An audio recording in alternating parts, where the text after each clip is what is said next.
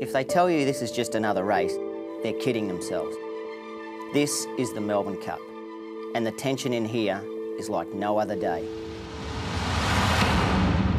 And as the fanfare dies down, instructions given, it's just horse and rider, and the adventure begins as they leave under the famous Flemington Arch.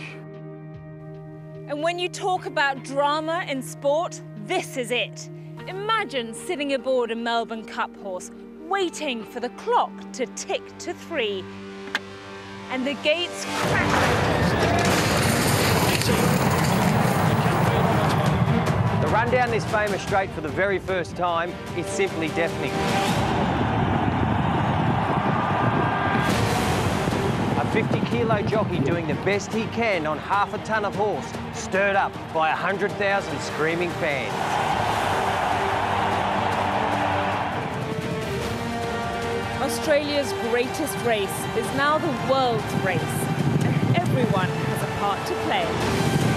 It's time to share in the story.